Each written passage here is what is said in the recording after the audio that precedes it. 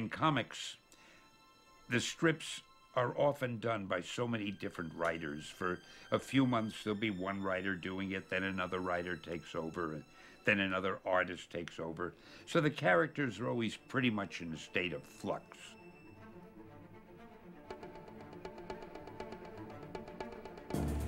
I really got into comics sort of by accident. I applied for a job at this publishing company, and um, I found out they specialized in comics. And I figured, well, I'll stay here for a little while and get some experience, and then I'll get out into the real world. But before I knew it, I was writing some of the stories, and I started doing some of the editing and the art directing, and it was interesting. And I was working with artists who were tremendously talented, and I thought, gee, this is fun.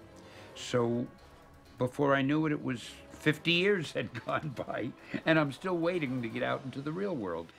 I'm really not sure why people relate Spider Man and me more than other characters I've done. I, I guess maybe because Spider Man is so popular. He's probably the most popular character we have.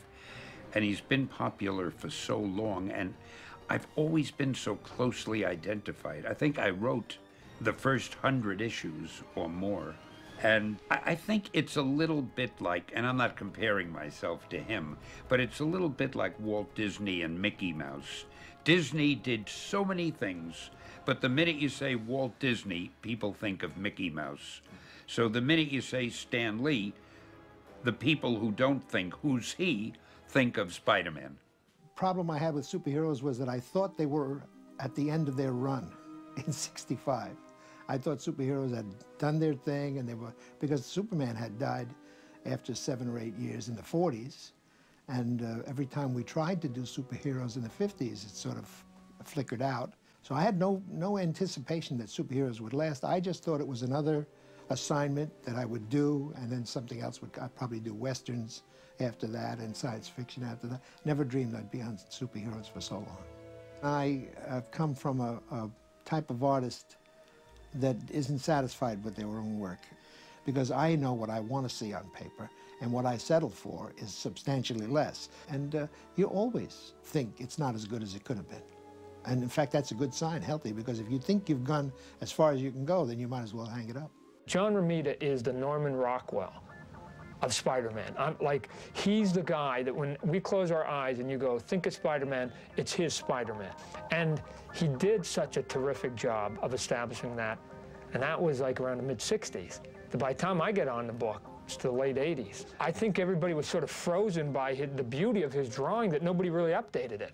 And so everybody was just doing sort of a knockoff quasi version of John Romita's, to the point that he was still almost wearing bell bottoms, and Mary Jane still had the straight hair, and she's a supermodel now in the story. She's a supermodel, and she still got that same hairdo from 68. So what I did was as soon as he donned the costume, then all rules sort of went away as to human anatomy and, and what was physically able to do because I wanted him to be a spider and I wanted to get the big eyes on him, and I wanted more webbing on his face, and I wanted him to go in these quirky positions and do. And to me, it was about Spider, Spider, because that's the hero part of it, and that's where I could have the fun drawing it. And so, and and some of that quirkiness, yeah, Ditko did in the first 40 issues, and that, that was that was sort of my my thought process when I jumped on. I'm, I'm one of those guys who's read comic books forever, and when I was a real young kid, I started drawing my own comics. That's how my, my life evolved. I was started drawing in there, and then eventually I was publishing my own fanzines, and I went from there to actually getting work in the comic book field, and eventually working on, you know, Spider-Man, which was a, a, a great book to be doing. You know, it was a weird thing because I was following Todd. Todd was immensely popular on Spider-Man book. Sort of the expectations were that sales were going to go down when I took over because this, you know, he's following the hottest guy in comics. And as it turned out, sales went up when I kind of started taking over the book. So it, it was it was a great time, you know. And when Todd came back and was doing the other Spider-Man book, I was still on Amazing, and things just went insane. Most of Spider-Man's visual identity comes from the original Steve Ditko stuff. His, his, his stuff was so deliciously quirky, and it was just perfect for the character. And John Romita brought a, a, a level of kind of a, a, glamour to it that took it to another level. And if you mush Steve Ditko and John Romita together, you kind of end up with what I was trying to do for Spider-Man. Sort of the, the great achievement of my life, of course, was becoming a comic book professional and finally getting to work for Marvel. The challenge is to, to figure out how much you can keep as opposed to how much you can throw away. And uh, luckily, in the case of Spider-Man, the original form was just so well thought out that it was really just a case of miniskirts and modern hairstyles to, to update it. I think I've done Spider-Man longer than anybody um, in cumulative years, probably about 14 years. From 80 to 83, I, I started doing Spider-Man when I really wasn't as good as I could have been, as I should have been, to do the character. At the end of the run, I said to myself, my God, when I compare this to what my father did and what guys before me did, oh boy, it's not that good. I hope I can come back and do it again. So I always had that urge to come back and do it again and do it again and do it right. And here I am doing it as a mature adult and still say, I gotta come back and do this right. I gotta get it right someday. Because there's always, uh, I'm, I'm, perfectionist on my own stuff and I, I, I've never reached that point where I'm happy with it. So the way I approach things is I can't compete with my father. I can't compete with John Buscema, I can't compete with Jack Kirby. Even today, uh, if I compare myself to my peers and my contemporaries, I'll go nuts. There's guys who are better illustrators than me. So I, I have to play to my strengths. I'm relatively quick and I have a, a good sense of storytelling. And those are the first things you concern yourself with. And then the art comes almost last. Tim had wanted to explore Spider-Man graphically and a particular time in Spider-Man's life. My connection with Spider-Man was not quite as boyhood idol kind of thing. I enjoy the character a great deal, but there are certain things about writing him that's very difficult, uh, more difficult than some of the other characters that I've done. So we settled on a particular time period, uh, which happens to coincide with when Mary Jane first came into Peter's life. And if I could build an entire series around uh, Face a Tiger, you just hit the jackpot. That's sort of where we began. It was actually the period where I, uh, the period in the comics where I first discovered the character, the early Romita issues as opposed to the Ditko issues. It had always remained my favorite era, and in deciding, in, in being given the opportunity to do a Spider-Man story, uh, you know, Jeph and I have a history of retelling early episodes in careers of superheroes, and this was my favorite career, and so now I'm struggling like crazy to draw pretty girls and, you know, to, to emphasize what was emphasized in that original run and yet have it still be what I do. The goal of Ultimates was to introduce new readership to Spider-Man and hopefully formulate a bridge for those readers to then come into the regular Marvel Universe. I think that's worked out beautifully. Ultimate Spider-Man is what he should be. He should be a teenager in the year 2001. And uh, as you know, for the past 40 years, as, as our creative community got, has gotten older and our fans have gotten older, we've let the character age. What we were able to do with Ultimate Spider-Man is, is bring out the cues that kids are used to.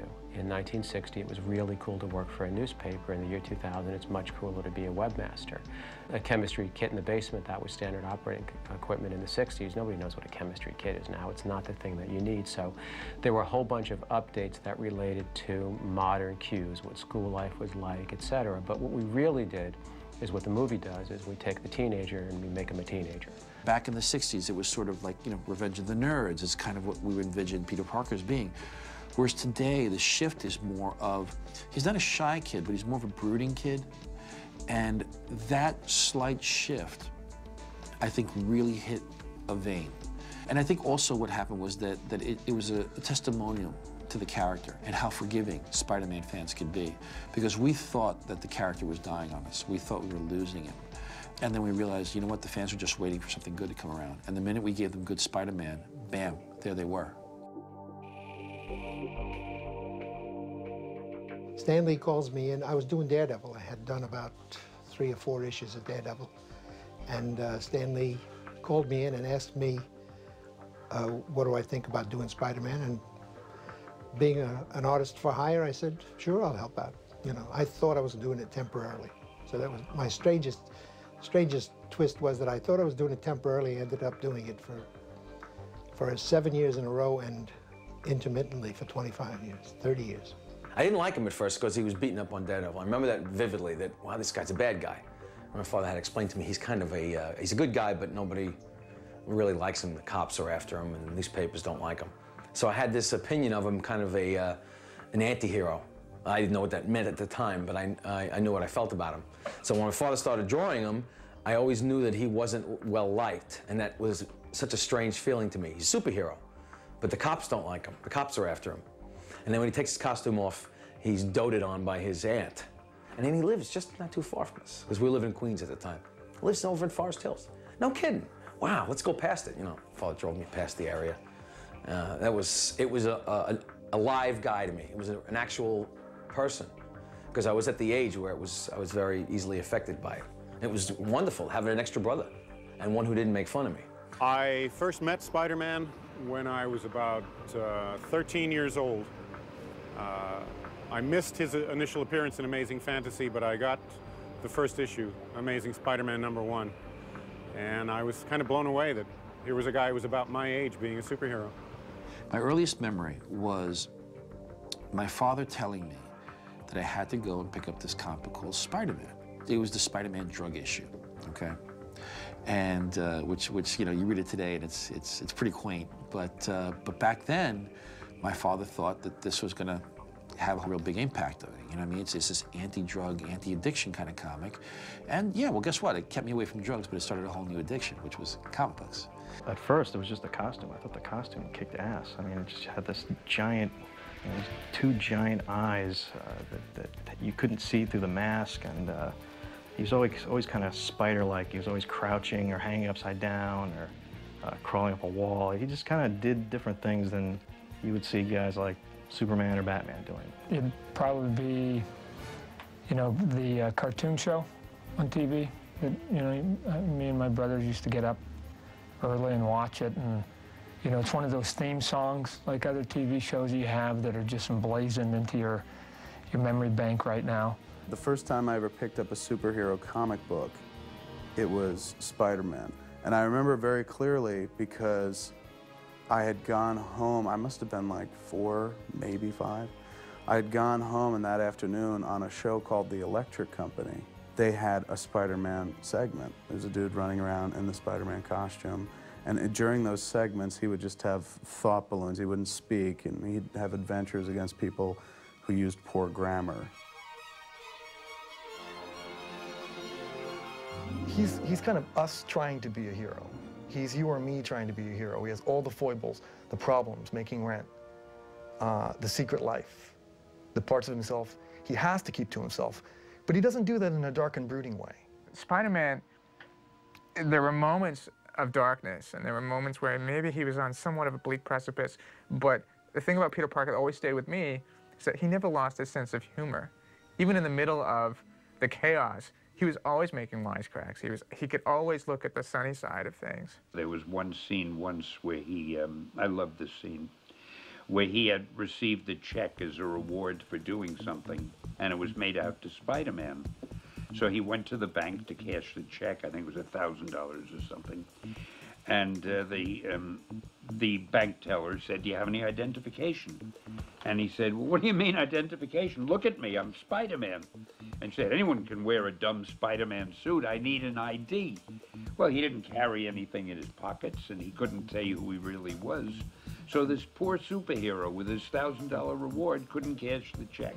He was he was a flawed human being. He, you know, he he was a nerd, didn't really know what life was about, and and all of a sudden, boom, you get hit by a bolt of lightning, or in this case, bitten by a radioactive spider, and you got superpowers.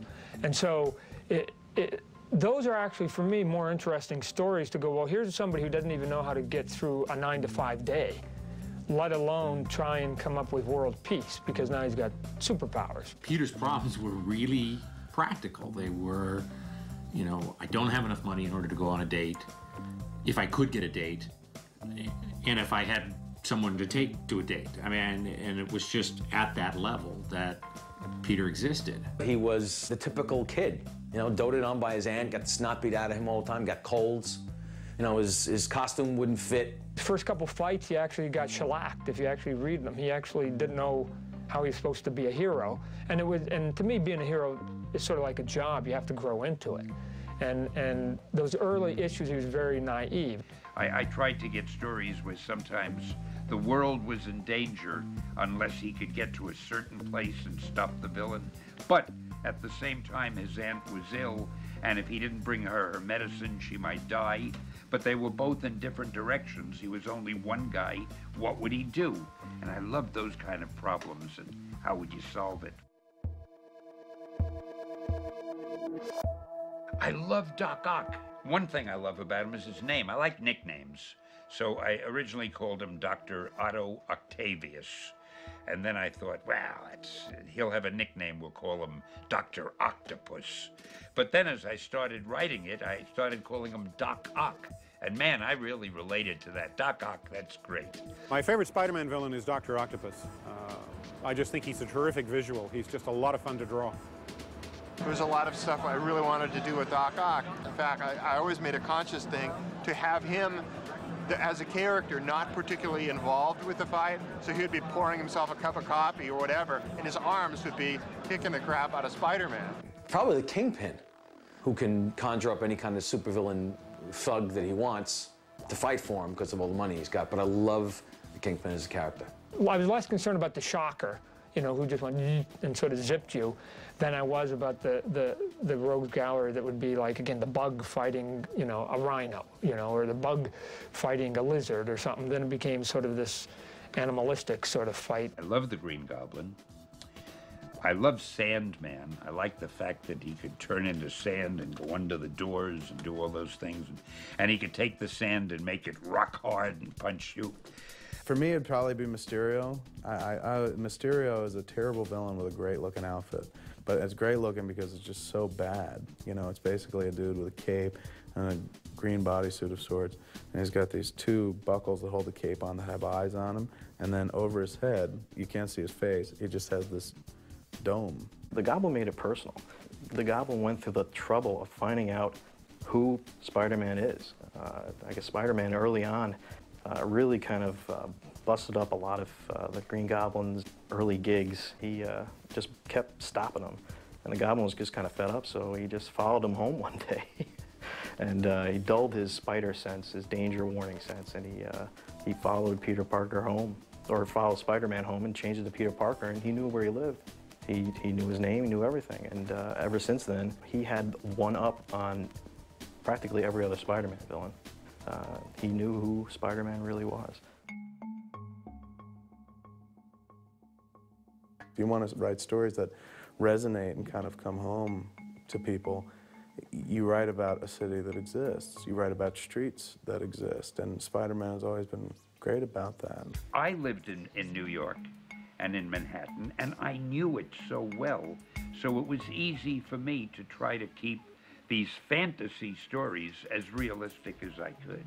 And I didn't mind saying he lives in New York City, kind of like that. I think Gotham and Metropolis, being imaginary cities, made it harder to identify with the characters. They were always somewhere else. It was not contrived uh, thinking that that was going to make it even better. It was just one of those things that Stan wanted to try, to make a real city. And it helped us because we had real locales to locate. We could put local bridges, we could put the airports, you know, uh, it was a big help to have reference instead of creating the city from, from scratch all the time. I've met people who talked about wanting to move to Forest Hills when they grew up based on having read that's where Peter Parker lived. And that's a little extreme, but it, it, it's a real place, you know, and, and, and kind of building a tale or building, weaving a mythology around something that exists rather than just kind of creating it, making it up. I don't know, there's something about it, something kind of special about being able to identify with this story. And, and I think that's what's always worked about Spider-Man is that identity factor. It's a great pot with uh, all these different ingredients. And that's what Spider-Man is like. That's what the superheroes that live in New York City are like. And it wouldn't be, it wouldn't have that, that, that same flair to it if it wasn't New York. You know, we, we've always been very current, we've always been very topical. So in my mind, to avoid 9-11 was almost callous and, and, and pretty cruel. So we were thinking that maybe it should affect one of our characters. One of our characters should, should be involved somehow or affected somehow directly. And the first thought was Spider-Man, obviously, because he is, aside from being our icon at Marvel, our most significant icon, he is our everyman. So we asked Joe Straczynski if he would like to write something for 9/11, whatever it may be. I gave him a real quick call and just said, you know, don't you think it would be odd if we didn't have something to say about this? JMS said, uh, give me 24 hours to think about it. So went home the next morning, come in, best birthday ever. There's a full script sitting there. It was a knockout punch. I think it was at that moment that I realized that the creative team I had were really onto something special. I was told that Straczynski was coming up with a, a script for an issue of Spider-Man that it was in the regular line of issues. Somebody said to him, why aren't you doing anything about the trade centers in Spider-Man? And he said, because there's no words. And those words triggered something in him. And he went back to his trailer while he's working on a, on a a movie or something, and two hours later come up with a script. After I read it, I realized it was the right thing to do. It just absolutely broke me up. I, I cried like a baby. After crying for four days after the attacks, it was the same reaction. This is beautiful work, and this has got to be done. Getting all the reference and doing the book and illustrating it properly took more out of me than I suspected. I was aware when he took on the job that it was going to be a killer. I only did one one pin-up poster, and it depressed me for a week. And he took a, a, very difficult story on. It took him like three times longer than usual, and he needed to talk to me because it was actually depressing. I mean, we were on the verge of tears working on these things. So it was a very difficult time. I don't know how he did it. I not only to to do it as well as he did it under those conditions where it was almost like breaking his heart doing it it's it's amazing. It's an amazing thing to turn out a quality piece with all of the emotions that were going on in those pages.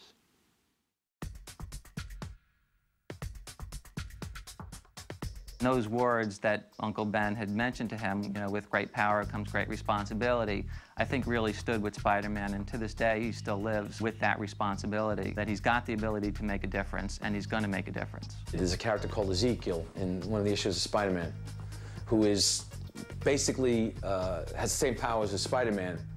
And he asks Peter Parker, why didn't you capitalize on it the way I did? I made some money and I'm putting this money to good use. And that's a question that Peter Parker, Spider-Man at the time, has to answer. You know, I, I, had to do this kind of thing and I had to do that kind of thing first because of my Uncle Ben.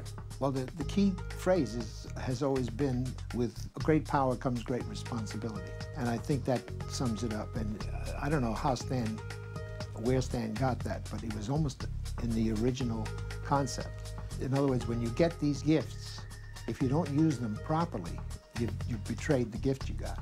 I think that's the, the, the single most vital core element of the character is somebody who's handed these great powers, who's not ready for it. He's not Superman, he's not born to it, he's not Batman, he hasn't trained for it. And he goofs up, he messes up, he messes up big time.